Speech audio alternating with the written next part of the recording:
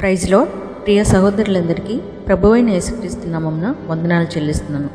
మరి యొక్క వారము మీతో కలిసి దేవుని వాక్యాన్ని ధ్యానించే కృపనిచ్చిన దేవునికి మహిమ కలుగునుగాక.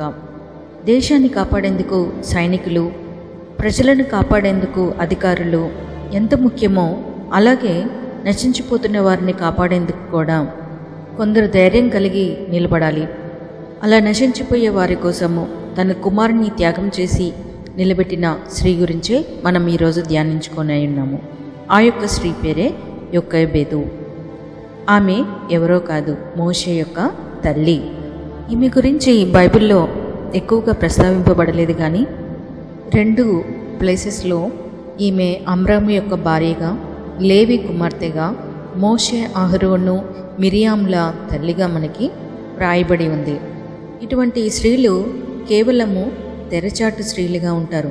కానీ వీరు చేసే ప్రార్థన ముందు భవిష్యత్ తరాలలో అనేకమైన గొప్ప కార్యాలు చేసే యోధులని భర్తలని బిడ్డలని నిలబెట్టే స్త్రీలుగా వీరు ఉన్నారు.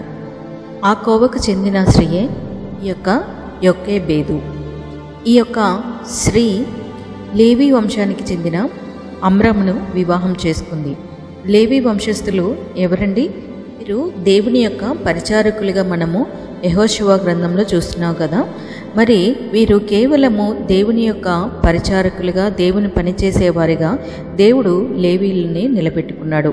అటువంటి గోత్రానికి చెందిన ఈ యొక్క అమ్రామ్ని మరి ఈ యొక్క లేవి కుమార్తె అయిన ఎకోబేదు వివాహం చేసుకుంది. వీరిరువురు కూడా మరి దేవుని యొక్క పనులు చేస్తూ దేవుని యొక్క పరిచర్యలో కలిసి పనిచేసిన వారిగా మనము చెప్పుకోవచ్చు. ఎందుకంటే ఆ గోత్రపు వారు కేవలము దేవుని యొక్క పరిచర్య చేసేందుకే నియమింపబడ్డారు. కనుక ఇద్దరు కూడా ప్రార్థన ఎందు దేవుని ఎందు ఆసక్తి కలిగి ప్రతి విషయంలో దేవుణ్ణి కలిగి జీవించిన మరి భార్యాభర్తలుగా మనం చూస్తున్నాము. అలాగే సంఖ్యాకాండము ఇరవై ఆరో అధ్యాయము యాభై తొమ్మిదో వచనంలో ఆమె అమ్రాము వలన అహరోనును మోషేను వీరి సహోదరియకు మిరియామును కనెను అని వ్రాయబడి ఉంది. అంటే వీరికి ముగ్గురు సంతానంగా మనము చూస్తున్నాము. ఈ ముగ్గురిలో కూడా మనము ముఖ్యంగా చెప్పుకునేది మోషే గురించి చెప్పుకుంటాము. ఎందుకంటే ఐగుప్తులో బానిసలుగా ఉన్న ఈ యొక్క ఇస్రాయిలీని కాపాడిన గొప్ప ప్రవక్తగా మనము ఈ యొక్క మోషేని చెప్పుకుంటాము. మరి ఐగుప్తు బానిసత్వంలో మన యొక్క ప్రజలు ఎందుకున్నారండి? ఆనాడు యోసేపును అతని అన్నదమ్ములు గుంటలో పడవేసినప్పుడు మరి ఐగుప్తీయులు ఆ యొక్క యోసేపును బానిసగా వారి యొక్క దేశానికి తీసుకువెళ్తారు. దేవుని యొక్క కృప వలన ఆ యొక్క యోసేపు ద్వారా రాజ్యంలో కరువు పరిస్థితిలో కూడా ఎంతో సంతోషంగా జీవించగలిగినట్లుగా మనం చూస్తున్నాము. అయితే అటువంటి మరి కరువు పరిస్థితిలో సంతోషంగా ఉన్న టైంలో యోసేపు యొక్క అన్నదమ్ములు ధాన్యం కోసం ఐగుప్తుకు వచ్చినప్పుడు యోసేపు ఆ యొక్క అన్నదమ్ముల్ని గుర్తుపట్టి వారిని చేరజేసి ఆ యొక్క ఐగుప్తు రాజ్యంలోనే వారికి నివాసాన్ని ఏర్పాటు చేస్తారు. ఇలాగా ఇస్రాయేలీలుగా ఉన్న ఈ యొక్క యాకోబు కుమారులందరూ కూడా ఐగుప్తు రాజ్యంలో స్థిరపడిపోతారు.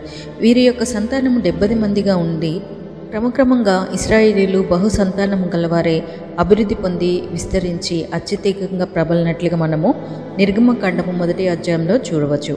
అయితే ఈ రీతిగా బహు సంతానంగా ఈ యొక్క ఇస్రాయేలీలు అభివృద్ధి చెందుతున్న సమయంలో ఆ యొక్క మరి యోసేపుని ఎరగని రెండవ ఫరో ఆ యొక్క ఐగుప్తుని ఏలనారంభించాడు.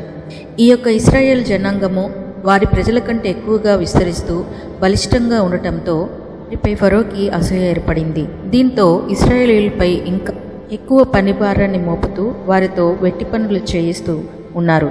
అంత మాత్రమే కాకుండా ఒక ఆజ్ఞని కూడా జారీ చేశారు. ఆ యొక్క సంతానంలో పుట్టిన ప్రతి మగపిల్లని హతమార్చాలనే ఒక ఆజ్ఞ కూడా జారీ చేశారు. ఈ క్రమంలో క్షిప్ర పూయా అను హెబ్రిలు అయిన మంత్రసారుల్ని ఏర్పాటు చేసి మరి ఎవరైతే మగ సంతానము ఈ యొక్క ఇస్రాయిల్లో జన్మిస్తుందో వారిని పుట్టగానే హతమార్చాలి అని చెప్పి ఈ యొక్క షిప్రాపుయ్య అనే మంత్రసాలతో మాట్లాడి వారిని ఏర్పాటు చేస్తారు. అయితే ఈ యొక్క మంత్రసానులు దేవునికి భయపడే వారిగా మనము చూడవచ్చు. దాని ద్వారా వాళ్ళు కొంతమంది మగపిల్లలు పుట్టిన వారిని ఆ యొక్క రాజు కంటపడకుండా వాళ్ళని రక్షించినట్లుగా కూడా మనము చూస్తున్నాము. అయితే ఎందుకు ఇలా చేశారు అని వాళ్ళని అడిగినప్పుడు వాళ్ళు ఏమంటారంటే హెబ్రీ స్త్రీలు మాకంటే చురుకైన వారు. వారు మరి మేము వెళ్ళి వాళ్ళని చంపేలోపే వాళ్ళు పిల్లల్ని కనేస్తూ ఉన్నారు అని చెప్పేసేసి వాళ్ళు రాజుకి జవాబిస్తారనమాట అందును బట్టి దేవుడు వారికి సహాయం చేసినట్లుగా కూడా మనం చూస్తున్నాము. అయితే ఇలా జన్మించిన ఈ యొక్క మగపిల్లల్ని పారేయాలని అలాగే ఒకవేళ ఆడపిల్లలు పుడితే బ్రతకనీయమని ఆ యొక్క ఆజ్ఞని ఫరో జారీ చేస్తారు. ఈ క్రమంలో అప్పటికే మోషే జన్మించి ఉన్నాడు. మరి ఇటువంటి మోషేని ఆ యొక్క తల్లి ఎలా రక్షించింది? ఏ రీతిగా ఫరో కంటపడకుండా ఆ యొక్క మోషేని కాపాడింది? ఎటువంటి నిర్ణయాలు ఆమె తీసుకుంది అనే విషయాల గురించి మనము చూద్దాము. ముందుగా ఈ యొక్క యుగభేదిలో మనం చూడవలసింది ఏంటంటే నిరీక్షణ లేని జీవితంలో నిరీక్షణ గల స్త్రీగా ఉన్నట్లుగా మనం చూస్తున్నాము. చూడండి ఇక్కడ ఈ యొక్క ఫరో ఆజ్ఞ బయలుదేరగానే ఆ యొక్క కుమారులందరినీ చంపివేస్తూ ఉన్నారు.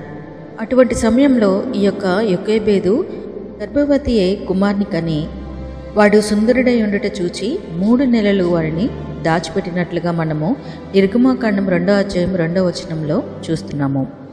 ఇక్కడ రాజుగారి ఆజ్ఞ బయలుదేరిన సమయంలో ఈమె కుమారుని కని మూడు నెలలు అతనిని దాచిపెట్టడం అనేది చాలా కష్టమైన విషయం. ఎందుకంటే చంటి పిల్లల్ని మూడు నెలలు కాపాడటం అనేది ఎంతో కష్టమైన పని. మరి ఆ కుమారుడు చూడటానికి ఎలా ఉన్నాడు? ఎంతో సుందరంగా ఉన్నారు. మరి అటువంటి కుమారుని ఎక్కడన్నా ఇచ్చేయటానికి కానీ మరి ఆ కుమార్ని విడిచిపెట్టడానికి కానీ ఆ తల్లి మనసు ఒప్పుకోవట్లేదు. మరి ఆ కుమారుని తన దగ్గరే మూడు నెలలు కూడా భద్రంగా కాపాడుకుంది అంటే ఎంతగా మరి ఆమె ఆ కుమారుణ్ణి భద్రపరిచి ఉంటుందో మనము గమనించవచ్చు. ఐగుప్తు బానిసత్వంలో ఉండి మరి రాజుగారి ఆజ్ఞ బయలుదేరిన తర్వాత కూడా ఆ యొక్క కుమారుని భద్రపరచడం అంటే సామాన్యమైన విషయం కాదు. ఆమె కేవలము దేవుని మీద భారం వేసి దేవుడు తప్పకుండా ఆ యొక్క కుమారుడికి సహాయం చేస్తాడని నిరీక్షణ కలిగి ఉంది. ఇంతటి నిరీక్షణకి గల కారణం ఏంటంటే వారు దేవుని యొక్క పరిచారకులు. దేవునిలో పనిచేసే వ్యక్తులు. మరి దేవుడు తప్పకుండా తన కుమారుని రక్షిస్తాడని తన కుమారుడిని ఎలాగైనా కాపాడతాడని ఆమె దేవునిపై నిరీక్షణ కలిగి ఉంది.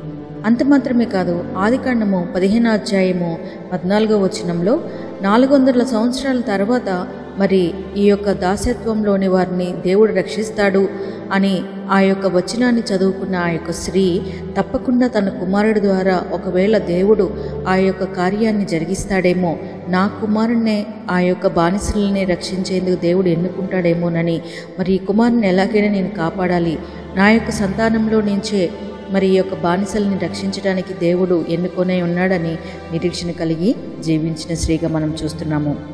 అవును దేవుడు గొప్పవాడు. ఎటువంటి ఆధారం లేని సమయంలో మనకి ఆధారమైన వాడు యేసుప్రభు ఒకడే అసాధ్యమైన కార్యాన్ని సాధ్యం చేయగల ఆ యొక్క దేవుని యందు మన నిరీక్షణ కలిగి జీవించినప్పుడు ఎటువంటి కార్యమైనా కానీ మనము సాధ్యం చేయగల శక్తిని దేవుడు మనకు అనుగ్రహిస్తాడు. కాబట్టి ఈ స్త్రీ కూడా మరి ఆ యొక్క శాసనము బయలుదేరినప్పటికీ దాన్ని వ్యతిరేకించి తన కుమారుణ్ణి నిరీక్షణతో నిలబెట్టిన స్త్రీగా మనము చూడవచ్చు. అందుకే మరి మిరియాము అహరోను మోషే వంటి గొప్ప ప్రవక్తలకి తల్లిగా ఈ యొక్క యొకేబేదు మనకి కనిపిస్తుంది. ఇటువంటి నిరీక్షణ కలిగి ఉంది కాబట్టే మరి ముగ్గురు బిడ్డల్ని కూడా ప్రవక్తలుగా తను చేయగలిగింది. దేవుని కోసము మరి తను ఆ బిడ్డల్ని ప్రతిష్ఠించింది. దేవుని పనిలో నా బిడ్డలు ముందుండాలని వెనుకుండి ప్రార్థన చేసిన స్త్రీగా ఈ యొక్క యొకేబేదుని చూడగలం. మరి మన యొక్క జీవితంలో కూడా మన బిడ్డల్ని దేవుని కొరకు పెంచుతున్నామా? దేవుని యొక్క పరిచర్య చేయటం అంటే మరి అది ఒక నామోషిలాగా మనము ఫీల్ అవుతూ మన పిల్లల్ని దేవుని పనిలో పెట్టేందుకు జాగు చేస్తున్నామేమో. చూడండి ఈ యొక్క స్త్రీ మోషేని మరి ఆ రోజు కాపాడకపోయి ఉంటే ఈరోజు మనము బానిసత్వంలో ఇంకా ఐగుప్తు యొక్క చెరలో మనము బానిసలుగా ఉండి ఉండేవాళ్ళము. కానీ ఆ రోజు ఆ స్త్రీ తీసుకున్న ఆ యొక్క నిర్ణయము శాసనాన్ని వ్యతిరేకించడంతో మరి ఈరోజు మనము ఎంతో సంతోషంగా జీవించగలుగుతున్నాము. మన యొక్క పనుల్లో ఒకవేళ అసాధ్యమైన పనులే కావచ్చు దేవుని మీద మనం నిరీక్షణ కలిగినప్పుడు తప్పకుండా దేవుడు ఆ కార్యాన్ని సఫలపరుస్తారు. మరి మన యొక్క జీవితంలో కూడా మన బిడ్డలు ఒకవేళ ఇది అసాధ్యము. దేవుని యొక్క పరిచర్యలో కొనసాగటం అనేది అసాధ్యం అయితే మరి వారిని దేవుని యొక్క పాదాలకి అప్పగించి వారి కోసము నిరీక్షణ కలిగి ప్రార్థించేసే తల్లులుగా మనము ఉండాలి. గా మనం చూసినట్లయితే భద్రతనిచ్చిన స్త్రీగా మనం చూస్తున్నాం. ఎటువంటి భద్రతను ఆ యొక్క స్త్రీ ఇచ్చిందో మనం చూద్దాము. నిర్గమకాండం రెండో అధ్యాయం మూడవ వచనంలో తరువాత ఆమె వాని దాచలేక వాని కొరకు ఒక జమ్ము పెట్టి తీసుకొని దానికి జిగట మండును కీళ్ళను పూసి అందులో ఆ పిల్లవాడిని పెట్టి ఏటి ఒడ్డున జమ్ములో దానిని ఉంచగా ఆ యొక్క మూడు నెలలు గడిచిన తర్వాత మరి ఆ యొక్క కుమారుని భద్రం చేయలేని పరిస్థితిలో ఆ యొక్క కుమారుణ్ణి ఒక జమ్ము పెట్టెలో పెట్టి పెట్టెకి కీలును అలాగే జిగట మన్నును పోసినట్లుగా మనం చూస్తున్నాము. ఇక్కడ జిగట మన్ను అందంగా అతుక్కొనబడి ఉంటుంది. అలాగే కీలు అనేది ఆ యొక్క మూతని మరి ఓపెన్ చేయకుండా టైట్గా దాన్ని బిగించేందుకు ఈ యొక్క కీలు అనేది ఉపయోగపడుతుంది. ఈ యొక్క కీలు మరి దేవునికి సాదృశ్యంగా తీసుకున్నట్లయితే ఆ యొక్క కుమారుడికి ఆ యొక్క దేవుడు రక్షగా ఉన్నట్లుగా మనం చూడవచ్చు. కుమారుడికి దేవుడినే మరి కాపుగా ఉంచి ఆ యొక్క పెట్టెని పంపించినట్లుగా మనము చూడవచ్చు. దేవుని యొక్క రెక్కల క్రింద మనకి ఆశ్రయం దొరుకుతుంది. ఆయన రెక్కలలో మనకి కాపుదల దొరుకుతుంది. అటువంటి దేవుణ్ణినే ఆ కుమారునికి కాపుగా ఉంచి ఆ యొక్క జమ్ము పెట్టెని పంపించినట్లుగా చూస్తున్నాము. అంత మాత్రమే కాదు ఈ యొక్క మోష అక్కగా ఉన్న మిరియాము కూడా తన తమ్ముడికి ఎటువంటి ప్రమాదం లేకుండా దూరం నుండి నిలబడి చాలా జాగ్రత్తగా కనిపెడుతూ ఉన్నట్లుగా చూడవచ్చు. ఈ రీతిగా ఆ కుమారుణ్ణి ఏ క్షణంలోనూ కూడా విడవకుండా దేవుని పాద సన్నిధిలో దేవుని యొక్క రక్షణలో ఆ యొక్క కుమారుణ్ణి మరి ఆ ప్లేస్ నుంచి తప్పిస్తుంది. ఇంతటి భద్రతని ఆ యొక్క కుమారుడికి ఆమె కలిగిస్తూ ఉన్నది. మన బిడ్డల్ని కూడా మరి మనం పెంచే విషయంలో తల్లిదండ్రులుగా మనము కాదు దేవుని పాద సన్నిధులకి ఆ యొక్క బిడ్డల్ని అప్పగించినట్లయితే తప్పకుండా మన పిల్లల్ని దేవుడు కాపాడేవాడిగా భద్రపరిచేవాడిగా ఆ యొక్క కుమారులకి కాపుదలుగా ఉండి వారి యొక్క జీవితాలకి బంగారు భవిష్యత్తుని అందించే విధంగా దేవుడు సహాయం చేస్తాడు. ఈ యొక్క మరి యొక్కబేది కూడా తన కుమారునికి ఎటువంటి ప్రమాదం లేకుండా ఆ యొక్క పెట్టె ఎక్కడ పడిపోయినా కానీ మరి అది ఓపెన్ అవ్వకుండా ఉండేందుకు కీలుని ఆ పెట్టెకి చుట్టూ కూడా పూసినట్లుగా మనం చూస్తున్నాము. ఈ రీతిగా ఎటువంటి అలలు కొట్టుకొని వచ్చినప్పటికీ కూడా ఆ యొక్క పెట్టె అనేది ఓపెన్ అవ్వదు. ఈ రీతిగా మరి ఎటువంటి పరిస్థితులు మన బిడ్డలకు ఎదురైనా ఎటువంటి కష్ట సమయాల్లో మన బిడ్డలు ఉన్నప్పటికీ దేవుని కాపుదలలో మన బిడ్డల్ని అప్పగించినట్లయితే అలల వంటి సమస్యలు ఎదురైనా కానీ వారు కాపాడబడతారు. ఆనాడు యొక్కపేద ఇచ్చిన ఆ యొక్క భద్రత మరి ఆ యొక్క కుమార్ని కాపాడి నిసత్వంలో నలిగిపోయిన ఆ యొక్క ప్రజలని భద్రపరిచేందుకు ఒక ప్రవక్తని అందించిన స్త్రీగా ఈ యొక్క యొక్కబేదని గురించి చెప్పుకోవచ్చు. మూడవదిగా ఈ స్త్రీలో విశ్వాసంతో అప్పగించిన స్త్రీగా మనము ఈ యొక్క యొక్కబోధను చూడవచ్చు. పుట్టిన మగపిల్లలందరినీ చంపివేయాలని శాసనాన్ని ప్రవేశపెట్టిన ఆ యొక్క రాజుగారి యొక్క ఆజ్ఞను వ్యతిరేకంగా ఆమె నిలబడటము కేవలము విశ్వాసం ద్వారానే అది సాధ్యమవుతుంది. అందుకనే హెబ్రిల్కి రాసిన పత్రిక పదకొండో అధ్యాయము ఇరవై మూడో వచనంలో ఏమని రాయబడింది అక్కడ? విశ్వాసమును బట్టి రాజ్యాజ్ఞకు భయపడక. చూడండి విశ్వాసమును బట్టి ఆ యొక్క మోస పుట్టినప్పుడు మరి ఆ యొక్క శిష్యును దాచే విధానంలో రాజు ఆజ్ఞ జారీ అయినప్పటికీ ఆ యొక్క దేవుని మీద ఉన్న విశ్వాసమును బట్టి రాజాజ్ఞకు భయపడక ఆ యొక్క కుమారుణ్ణి ఆమె దాచిపెట్టింది. దేవునిపై ఇంతటి విశ్వాసము వారికి ఎలా ఏర్పడింది? చూడండి యశగ్రంథము ఇరవై ఆరో అధ్యాయము మూడవచనంలో ఎవని మనసు నీ మీద ఆ- ఆనుకొనునో వాని నీవు పూర్ణశాంతి గల వానిగా కాపాడుదువు ఎలియనగా అతడు నీ యందు విశ్వాసం ఉంచి ఉన్నాడు అని వ్రాయబడి ఉంది కదా. ఎవరైతే దేవుని మీద మరి ఆనుకొని ఆయన మీద ఆధారపడి జీవిస్తారో వారిని దేవుడు పూర్ణ శాంతి గలవానిగా ఉంచుతాడు. వారి విశ్వాసాన్ని బట్టి దేవుడు వారికి సహాయం చేయవాడిగా ఉన్నాడు. కాబట్టి వీరికి ఇంతటి విశ్వాసం ఎందుకు అంటే ఈ ఇద్దరు భార్యాభర్తలు కూడా దేవుని యందు విశ్వాసం ఉంచి ఆ కుమారుణ్ణి మరి దేవునికి అప్పగించారు కాబట్టే ఆ వారు అంత శాంతిగా రాజు యొక్క ఆజ్ఞనే మరి వాళ్ళు వ్యతిరేకించిన వారిగా ఉన్నారు. దేవుడి మీద ఆధారపడి జీవించిన వారికి దేవుడు తప్పకుండా అటువంటి ధైర్యాన్ని అనుగ్రహిస్తాడు. అక్కడ దావీదు విషయంలో కూడా గొల్యాతు వంటి అంత భయంకరమైన వ్యక్తి ముందు నిలబడినప్పటికీ మరి దావీదు ఏ రీతిగా జయించాడు? కేవలం దేవుని అందు విశ్వాసం కలిగి ఉండబట్టే మరి ఆయన జయించాడు. అందుకని దేవుడు అంటున్నారు కదా ఆవగింజంత విశ్వాసం ఉంటే చాలు. మీరు ఎటువంటి కార్యాన్నైనా చేయగలుగుతారని దేవుడు అంటున్నాడు. కాబట్టి విశ్వాసం ద్వారానే మనం ఏ కార్యమైనా చేయగలం.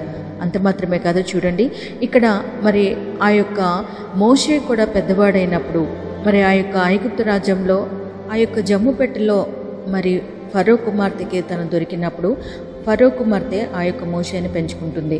మరి ఆ యొక్క ఫరో రాజ్యంలో ఆ యొక్క మోషే ఎదిగి పెద్దవాడైనప్పుడు ఎంతో ఆస్తి ధనము తన చుట్టూ భోగభాగ్యాలు ఉన్నప్పటికీ కూడా అవేవి కూడా తనకి సంతోషాన్ని ఇవ్వట్లేదని విశ్వాసమును బట్టి ఐగుప్తు ధనం కంటే క్రీస్తు విషయమైన నింద గొప్ప భాగ్యమని ఎంచుకొని అల్పకాలము పాపభోగం అనుభవించుట కంటే దేవుని ప్రజలతో శ్రమ అనుభవించుట మేలని ఎంచుకుని ఫరో కుమార్తె యొక్క కుమారుడిగా కాక దేవును ఇచ్చే బహుమానంపై దృష్టి ఉంచి విశ్వాసమును బట్టి ఐగుప్తును విడిచిపెట్టి వచ్చినట్లుగా మనము ఈ యొక్క మోషేని చూస్తున్నాము. ఆ యొక్క తల్లిదండ్రులు ఇచ్చిన ఆ యొక్క విశ్వాసమే మరి వారు చేసిన ప్రార్థనే. మరి ఆ కుమారుడు పెద్దవాడైనప్పుడు ఆ యొక్క విశ్వాసము ఆ కుమారుడిలో కూడా ఫలించింది. కాబట్టి విశ్వాసమును బట్టి ఆ యొక్క ఐగుప్తుని విడిచి ఆయన తిరిగి రాగలిగాడు.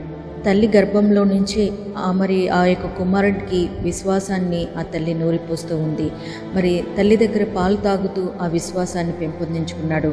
మరి ఎక్కడున్నప్పటికీ కూడా ఆ యొక్క తల్లి చూపించిన ఆ యొక్క విశ్వాసము దేవునిపై ఉంచిన ఆ యొక్క నిరీక్షణ ఆ కుమారుడిని కాపాడుతూ భద్రపరుస్తూ మరి ఆ కుమారుడి యొక్క మరి జీవితంలో కూడా అటువంటి విశ్వాసమే మళ్ళీ తిరిగి ప్రతిఫలించి ఆ యొక్క కుమారుడు మరి ఐగుప్తు బానిసత్వంలో ఉన్న ఇస్రాయేల్ జనాంగాన్ని ముందుకు నడిపించే యోధుడిగా ప్రవక్తగా మరి ఆ యొక్క మోషేని ఆ తల్లి చిన్ననాటి నుంచి తీర్చిదిద్దడానికి ప్రయత్నించింది. కాబట్టి మరి నాలుగు వందల సంవత్సరాలు ఐగుప్తు బానిసలుగా ఉన్న ఇస్రాయేల్ జనాంగాన్ని ఆయన ఆ రోజు రక్షించాడు. మోషే రక్షించబట్టి మరి ఇస్రాయేల్ జనాంగం అంతా కూడా సంతోషంగా యొక్క ఐగుప్తు బానిసత్వం నుంచి విడుదల పొంది మరి పాను తేనెలు ప్రవహించే దేశానికి దేవుడు నడిపించాడు. మన జీవితంలో కూడా ఇటువంటి విశ్వాసాన్ని మనము కలిగి ఉండటమే కాకుండా మన పిల్లలకు కూడా ఆ యొక్క విశ్వాసాన్ని మనము పిల్లల్లో పెంపొందించాలి. దేవుని యందు విశ్వాసం ఉంటే ఎటువంటి కార్యాన్నైనా మనం చేయగలమనే విశ్వాసాన్ని మన పిల్లలకు మనం నేర్పించాలి. ఆ రీతిగా మరి ఈ యొక్క యొకోబేదు మరి ఆ యొక్క కుమారుడైన మోషేకి చెప్పి చిన్నప్పటి నుంచే పెంచింది కాబట్టి ఆ యొక్క విశ్వాసాన్ని ఆ యొక్క మోషే ఎప్పుడు కూడా విడిచిపెట్టలేదు. అక్కడ రాజు యొక్క ఆగ్రహానికి మరి ఆ యొక్క విశ్వాసం ద్వారానే మరి ఆ యొక్క ఆగ్రహాన్ని వ్యతిరేకించిన వాడిగా చూస్తున్నాము. అలాగే విశ్వాసాన్ని బట్టి ఎర్ర సముద్రాన్ని పాయలు చేశాడు. అలాగే విశ్వాసాన్ని బట్టి ఆరేడు నేలపైన ఆ యొక్క ఇస్రాయేల్ జనాంగాన్ని నడిపించాడు. కేవలము మరి విశ్వాసం ద్వారానే ఇటువంటి కార్యాలన్నీ చేస్తూ ఆ యొక్క ఇస్రాయేల్ జనాంగం విషయంలో ఎన్నో అద్భుతమైన కార్యాలు ఆశ్చర్యమైన కార్యాలు మోసే జరిగించాడు. తల్లి చూపించిన ఆ యొక్క విశ్వాసము బిడ్డ విషయంలో ఏ రీతిగా అయితే మరి ఫలించిందో ఆ రీతిగా మన యొక్క జీవితాలలో కూడా మన పిల్లలకి మనము దేవుని విందు విశ్వాసం కలిగి జీవించాలి అని మనం వారికి నేర్పించాల్సిన బాధ్యత మనపై ఉన్నది. కాబట్టి ప్రియ సహోదరులరా ఈ యొక్క యొక్కేబేదు మరి ఏ రీతిగా అయితే రాజాజ్ఞను మరి తిరస్కరించి మరి ఆ యొక్క కుమారుని నిలబెట్టిందో ఏ రీతిగా అయితే తన కుమారుడికి విశ్వాసం ద్వారా భద్రతనిచ్చిందో ఏ రీతిగా ఆ యొక్క కుమారుని మరి ఐగుప్తు బానిసత్వంలో ఉన్న ఇస్రాయేల్ జనాంగాన్ని నడిపించేందుకు తన కుమారుణ్ణి నిలబెట్టిందో ఆ రీతిగా మన యొక్క బిడ్డల్ని కూడా మనము విశ్వాసంతో ప్రార్థన చేసి మన బిడ్డల్ని నిలబెట్టే బాధ్యత మనపై ఉన్నది. మరి ఈ యొక్క దేశాన్ని కాపాడేందుకు ఆర్మీలుగా తల్లిదండ్రులు పంపిస్తూ ఉన్నారు. మరి నశించిపోతున్న బానిసలుగా ఉన్న శ్రమలో ఉన్న ఇటువంటి మరి ఈ యొక్క జనాంగాన్ని రక్షించేందుకు నీ బిడ్డల్ని నువ్వు నిలబెట్టగలుగుతున్నావా? మన బిడ్డల్ని కూడా విశ్వాసం ద్వారా దేవుని దగ్గర మన బిడ్డలు నిలబెట్టినట్టయితే మన పిల్లలు కూడా మరి ఇటువంటి బానిసత్వంలో ఉన్న వారిని విడిపించే బిడ్డలుగా మరి గొప్ప యోధులుగా దేవుడు వారిని తీర్చిదిద్దునే ఉన్నాడు. కేవలము మనము విశ్వాసంతో మన బిడ్డలు నిలబెట్టినప్పుడు తర్వాత దేవుడు తప్పకుండా మన బిడ్డల్ని అంతటి గొప్ప యోధులుగా దేవుడు వాడుకోనే ఉన్నాడు. దేవుని అందు విశ్వాసం కలిగి మన బిడ్డల్ని రీతిగా నిలబెట్టి మోసే వల్లే గొప్ప నాయకులుగా మన బిడ్డల్ని కూడా తయారు చేయాలని కోరుకుంటూ ఈ యొక్క వాక్యం దేవుడు దీవించినగాక ఆమెన్. ప్రార్థన చేసుకుందాం. ప్రేమమైడ నీ పాదాలకి స్తోత్రం చెల్లిస్తున్నాం తండ్రి. నాయన యొక్క పేదు జీవితం ద్వారా మాతో మాట్లాడిన విధానం బట్టి నీకు వందనాలు చెల్లిస్తున్నాం ప్రభా. నాయన నిజంగా ఆ యొక్క నాయన మరి శ్రీ ఆ రోజు తండ్రి నాయన నిర్ణయం తీసుకొని ఉండకపోతే రాజు యొక్క శాసనాన్ని వ్యతిరేకించి ఉండకపోతే ఈరోజు మేము ఇంకా బానిసత్వంలోనే తండ్రి నాయన బ్రతుకుతూ ఉండేవాళ్ళమేమో నాయన. ఆ రోజు ఆ యొక్క తల్లి తీసుకున్న ఆ యొక్క నిర్ణయము మరి విశ్వాసం ద్వారా తను రాజాజ్ఞని కూడా తండ్రి భయపడక తీసుకున్న ఆ యొక్క నిర్ణయము ఈరోజు మరి మమ్మల్ని కాపాడింది నాయన. కాబట్టి మేము విశ్వాసం కలిగి జీవించాలని ఆ రీతిగా మా పిల్లల్ని కూడా విశ్వాసం కలిగిన వారిగా పెంచాలని నీవు ఎక్కువ మీద జీవితం ద్వారా మాతో మాట్లాడిన విధానం బట్టి నీకు వందనాలు చెల్లిస్తున్నాం ప్రభా. మా బిడ్డల్ని కూడా ప్రభా నాయన విశ్వాసాన్ని బట్టి మేము వారిని అల్పకాల పాపభోగముల కంటే క్రీస్తు విషయమైన నింద గొప్ప భాగ్యమని ఎంచుకొని మరి నాయన బానిసల్లో ఉన్న వారిని ఇరుకు ఇబ్బందుల్లో ఉన్న వాళ్ళని నైనా శ్రమలో ఉన్న వారిని విడిపించేందుకు మా బిడ్డలు నాయన నిలబడి వారి కోసము ప్రార్థన చేసేవారిగా వారి కోసము మరి సేవ చేసేవారిగా మరి వారి కోసము ప్రయాసపడే గొప్ప మరి సైనికులుగా మేము మా కుమారుల్ని కుమార్తెల్ని నిలబెట్టే కృపని మాకు దయచేయమని వారి కోసం ప్రా విశ్వాసంతో ప్రార్థించేసే తల్లిదండ్రులుగా మేము ఉండే కృపని భాగ్యాన్ని దయచేయమని ఈ ప్రార్థన మీ పాసం చేర్చుకుని ప్రతిఫలం దయచేయమని ఏసునామని అడిగి వేడుకుంటున్నామా పరమ తండ్రి. ఆమె